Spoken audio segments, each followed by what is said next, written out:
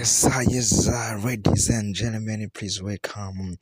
Ladies and gentlemen, one more time, nitwa MCT number one in town. Ngushimire cyane we wakoze subscribe kuri YouTube channel yacu Mutoni TV online. Ngushimire cyane wowe ukanda kuri like, ukora share, hanyuma ngushimire cyane wowe ukora commentaire hari hasi kubera ko commentaire nabwiye ko ari zo ziduhereza akazi, ari zo ziduhereza icyo gukora, na zo ziduhereza uburyo mwakira inkuru zacu umunsi ku munsi. Ndabashimira cyane umuryango mugari wa Mutoni TV online. Tumaze kugera ku bihumbi cumi na bitanu ah, n'abantu bagera kuri magana abiri na makumyabiri na bane. Ah, dukeneye ko byibura uku kwezi cyangwa se gutaha byibura tuzaba turi ku bihumbi cumi na bitanu magana atanu. Kandi ndabizi ko tugomba kubikora. Ah, bikagenda neza. Tubibutse ko dukora massage. Contact ziba ziri hasi aho ngaho kugira ngo ubashe kugenda ah, ukurikirana ukuntu gahunda ziba zimeze neza gatanu kuri gatanu. Hanyuma abameze neza n'ab'ubuzima butameze neza turabizi neza ko ubuzima ntago ntago buhora ari bumwe. Uyu munsi biba ari byiza ejo bikanga gusa.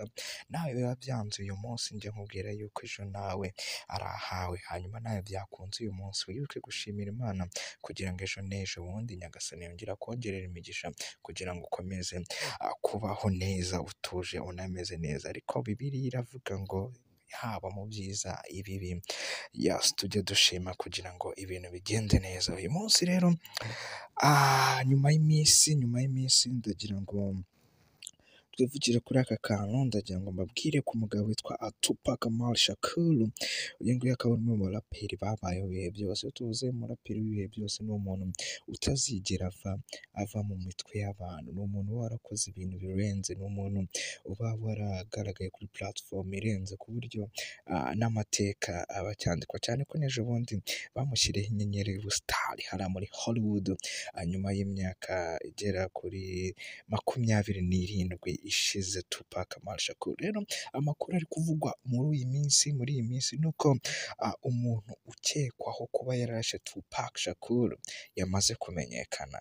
Ah, yamaze kumenyekana. Burya icyaha icyaha by the time ntabwo gihera ntabwo birangira gutyo. The police icyaha cyo ku cyo kumena amaraso ah, ntabwo bijya birangira gutyo gusa. Nk'uko ah, tubitesha ibitangazamakuru byinshi bitandukanye hariya muri leta zunze ubumwe za amerika. Ni inkuru iri trend cyane ni inkuru abantu basamiye hejuru cyane ko nyuma y'aho Tupac Shakur arasiwe nta muntu wigeze ushyirwa mu majwi bavuga ati yarashwe n'uyu uretse kuvuga bya bindi ngo ni west coast na east coast bihanganye gutyo gusa. Ariko nta muntu bamenshiningaga ngo uyu nguyu ni we warashe Tupac Shakur. Hanyuma nyuma y'imyaka makumyabiri n'irindwi umuraperi Tupac Amaru Shakur yishwe arasiwe mu muhanda wa Las Vegas. Polisi yo muri uyu mujyi yatangaje ko ko muri iki cyumweru yasatse ukekwaho uruhare mu kurasa uyu mugabo witwa Tupac Shakur.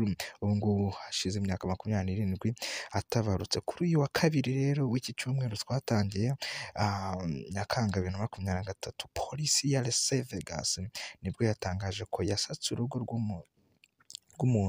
Itata itashatse kwita itangaza amazina ariko ukekwaho kurasa Tupac Shakur cyangwa kugira uruhare ah, mu rupfu rwa Tupac Shakur. Mu nyandiko yagenewe abanyamakuru rero igaragaza ko ko inzu yasaswe ku wa cumi na karindwi Nyakanga bibiri na makumyabiri na gatatu iri mu gace ka Hanson muri Nevada mu birometero mirongo itatu kuri mirongo itatu na bibiri uvuye aho Tupac. Yarasiwe ubwo iyo bavuze ibirometero mirongo itatu kuri mirongo itatu na bibiri. Ah, eh, baba bagereranya kwa baba bavuga bati byaba byose umuntu yarasiwe hano ariko iyi nzu iri muri mirongo itatu mirongo itatu na kabiri ah, kilometere nubwo hashize imyaka myinshi Tupac arashwe nta muntu n'umwe wigeze atabwa muri yombi wakurikiranyweho kwica umuraperi Tupac Shakur. Wari ufite imyaka makumyabiri n'itanu. Tupac Shakur yarashwe yicaye imbere mu modoka y'umukara ya BMW ari kumwe na Mario Sugar Knight uyu mu- umuyobozi wa Def Records? Def Law Records iyi ni yari label na yo. Kiriya gihe yari igezweho byatahari abazi umuziki wa kiriya gihe. Ah, ndabizi ntago ntabibibutsa uyu muraperi yapfiriye mu bitaro nyuma y'iminsi itandatu yonyine arashwe. Bamurashe ah, bamurashe nyine bisa ngombwa ko ajya kwa muganga hanyuma ariko ubuzima bwe buza kumucika amaze iminsi itandatu aho ngaho. Ah, mu bitaro. Icyo gihe polisi yavuze ko aba bombi bari bahagaze bategereje ko amatara yo mu muhanda ubwo ni feruje abaha uburenganzira bwo gukomeza urugendo. Imodoka y'umweru ya Cadillac yageze hafi y'abo aho bari bahagaze maze ibavisaho urufaya rw'amasasu. Em, Yaki Kadafi wari no mu bari bamuherekeje igihe yaraswaga yavuze ko yari yiteguye gutanga ubuhamya kuko yiboneye amaso y'abarashe Tupac ariko nyuma yemeza nyuma y'amezi abiri yonyine gusa abibonye uyu mugabo yaje umurambo we waje gusangwa New em, yamaze kwitaba Imana nawe n'ubu ngubu ntiharamenyekana. Icyamwishe nyuma y'urupfu rero rwa Tupac Shakur havuzwe byinshi havugwa byinshi bitandukanye. Havugwa amakimbirane yabaga afitanye n'abandi baraperi cyangwa se abandi bantu ah, ku buryo butandukanye. Hariya hari n'abahuza urupfu rwa Tupac Shakur ah, na bifu yabaga afitanye na Notorious cyangwa se uwo twitaga PIG hanyuma binyuze mu makimbirane yabaga ari muri East Coast na West Coast nubwo nawe yaje nubwo nawe PIG nawe yaje kwicwa. Ah, nyuma ya Tupac aho gatoya urumva rero ayo makimbirane abantu bagenda bayahuza rero n'urupfu. ah, rwa Tupac Shakur bavuga bati uriya mugabo ashobora kuba yaragizeho ikibazo yarabigizemo uruhare. Ariko ukibaza ati se nimba yaragizemo uruhare afite byaje kugenda gute ko nawe nta minsi iciyeho? Yahise agira ute yahise yitaba Imana. Kandi ah, B.I.G nawe yari umuraperi ukomeye muri Leta Zunze Ubumwe za Amerika muramwibuka yagiye akora indirimbo nyinshi zitandukanye aho yitwaga ah, Notorious. Hanyuma wenda nkunyuriyemo gatoya um, ku buzima bwa Tupac Shakur ho gatoya ah, wenda nko ku rubuga rwa Wikipedia rutangaza ah, ruvuga ko ubundi Tupac Shakur amazina ye nyakuri Alison Parish Clocks ryaje guhindurwa kuko ngo nyina yatinyaga ko abanzi be bazagirira umwana we nabi dore ko yari anafitanye ibibazo na guverinoma ya Leta Zunze Ubumwe za Amerika of course nyuma yo gutandukana n'umugabo we Bill Garden ari nawe papa wa Tupac akajya kubana akajya kubana na Notorious Shakur ni bwo ni bwo ngo amazina ya Tupac yahinduwe.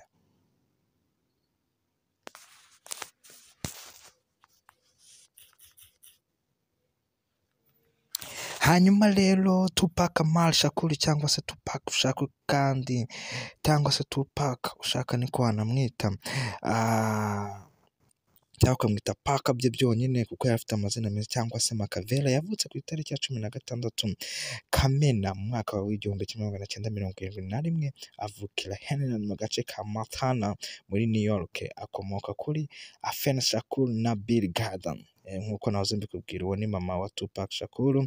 Ah, hanyuma mu mwaka wa mirongo inani na gatandatu umuryango wa Tupac wavuye hano wimukira ah, Baltimore muri Maryland. Icyo gihe yari arangije umwaka wa kabiri w'amashuri yisumbuye. Hanyuma Tupac yakundanye na Jada Pink ubu witwa Jada Pink Smith umugore wa Will Smith.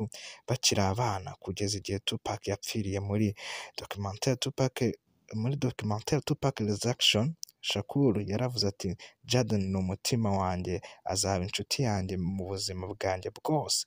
Pinkett nawe yamwitaga inshuti ye akanavuga ko yari nk'umuvandimwe we kuko ubu ukuntu babanaga byari birenze n'ubucuti busanzwe. Tupac yanditse ibitabo n'imivugo kuri Pink ah, kuri Pinkett bigaragaza ukuntu yamukundaga ndetse bakiri no ku ishuri bahoraga bajyana mu biro ahantu henshi hatandukanye. Hanyuma Tupac ah, amwe mu magambo ya nyuma Tupac yavuze mbere y'uko atabaruka of course ntabwo twagenda tutanayavuzeho ah, rimwe yigeze kuvuga ati nizera ko iyo ukoze ikibi kikugaruka ku bw'ibyo ikibi cyose nakoze ngiye kubona ingaruka zacyo. Ariko mu mutima wanjye ndumva nkora ibyiza bityo ndumva meze nk'ugiye kujya mu ijoro nimara gutabaruka abantu bazamenya ibyo navugaga. Aya ni amwe mu magambo Tupac yavuze mbere y'uko yitaba Imana. Mbere y'uko rero agenda akava muri ubu buzima.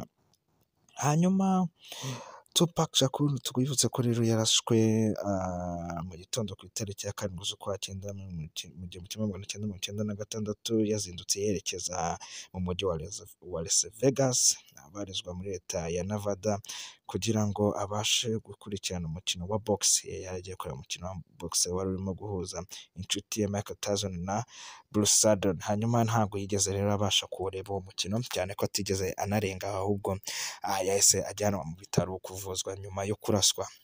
Yego munsi rero icyo nashaka kubabwira ni uko nyuma rero y'iyo myaka igera kuri makumyabiri n'irindwi uyu mugabo arashwe. Ah, kano kanya rero ni bwo hatangiye kwihishwa amakuru y'uko noneho uwagize uruhare mu rupfu rwa Tupac Shakur ah, yatangiye noneho gukurikiranwa aho noneho yatangiye hanasatswe no mu rugo rwiwe. Ubu hashize imyaka mirongo ah, Tupac ubu yagakwiye kuba yujuje imyaka mirongo ine n'itandatu amaze ku isi. Hanyuma ladies and gentlemen reka tujye dukomeza tubane 5 to 5 najya mbahereza updates kugira ngo ah, mube muyizingatiye hanyuma n'andi makuru nzagenda nyabahereza uko ikirego kizagenda gitangazwa niba natubwira n'ayo mazina ah, y'uwo muntu waba waragize uruhare mu rupfu rw'icyamamare. Bamwe mu banyabigwi babayeho muri iyi si y'Imana Tupac Amaru Shakur. Nzagenda mbibatangariza hano ku Mutoni TV reka tujye tubana 5 to 5 dukomeze twungurane ibitekerezo kugira ngo tubashe guhindura isi yacu ya none kugira ngo ah, uko twayisanze tuzaharanira gusiga ah, inahindutse neza. Of course buriya ntuzasige isi nk'uko wayisanze. Uzaharanira kuyisiga